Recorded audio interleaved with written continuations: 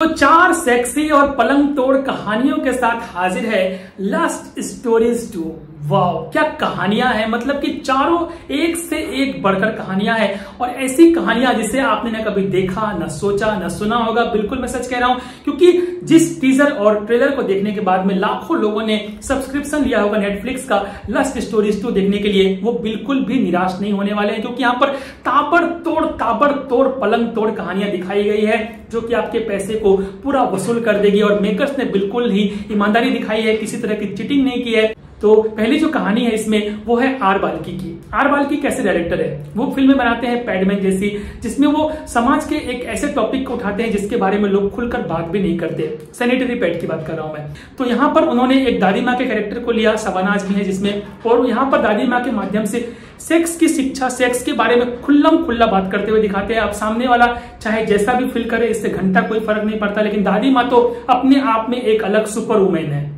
वो ये कहती है कि 36 गुण मिले ना मिले, लेकिन सेक्स वाली जो बात है बेड पे जो सेक्स की बात है, वो ज़बरदस्त तरीके से मिलने चाहिए, वरना शादी जो है वो सफल नहीं हो सकती। और यही ज्ञान वो अपनी पोती को दे रही है कि तुम्हें भी अगर शादी करना है फ्यांसे को अगर मर्द बनाना है, अपना पति बनाना है तो उसके साथ जो है टेस्ट ड्राइव करो सेक्स करो एंजॉय करो, समझो अगर वो सेक्स में बेहतर है तो फिर आप उसके साथ जो है अपनी लाइफ बिताओ। इसमें कोई ऐसे सेक्सी दृश्य आपको देखने को नहीं मिलेंगे, लेकिन चुंबन से बढ़कर कुछ ज़्यादा नहीं दिखाया गया है। इसकी एक गरिमा है, एक मान्यता है, उससे मेंटेन रखा है डायरेक्टर ने।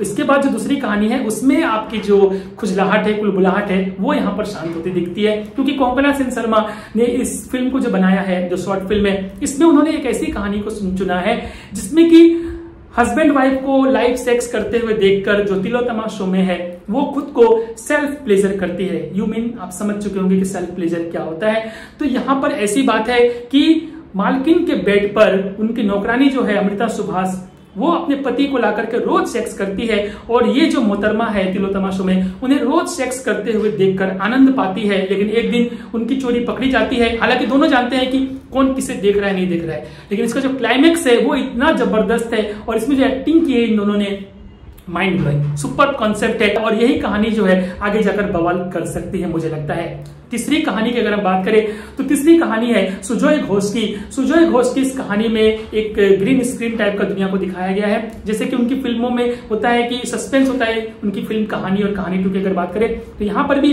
विजय और तमन्ना की कहानी है। तो विजय जो है किन्हीं परिस्थितियों में फिर से तमन्ना से मिलता है दस सालों बाद, और यहाँ पर उनकी पुरानी पुरानी बातें शुरू होती है, और फिर इनके बीच में होता है एक गर्मा गर्म ठोकम ठुकाई वाला ओपन सेक्स सीन होता है, जिसे बहुत ही कामुक तरीके से, बहुत ही अलग तरीके से दिखाया गया है। इसे देखकर तो आप कहेंगे कि भाई, मेरा तो पूरा पैसा वसूल हो गया।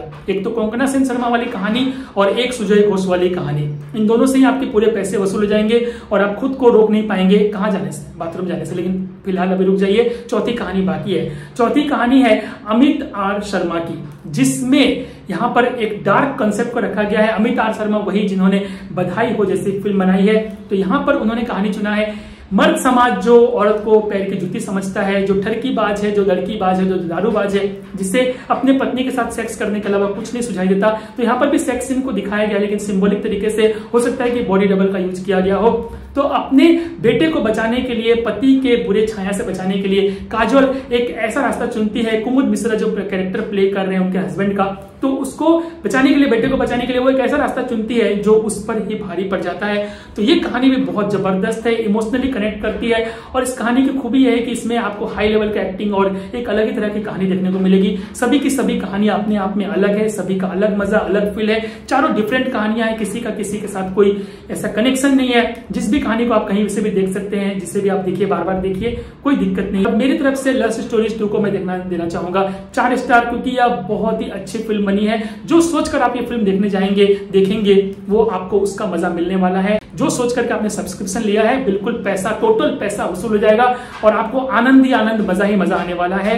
तो आपको कैसी लगी मेरी रिव्यू रिव्यू को लाइक और शेयर कर दीजिए। चैनल पर पहली बार आए हैं तो चैनल को सब्सक्राइब करके जो है बेलाइकन को प्रेस कर दीजिए। और मैं मिलता हूँ आपसे अलग वीडियो में एक अलग कंटेंट एक अलग रिव्यू के साथ में। नमस्कार।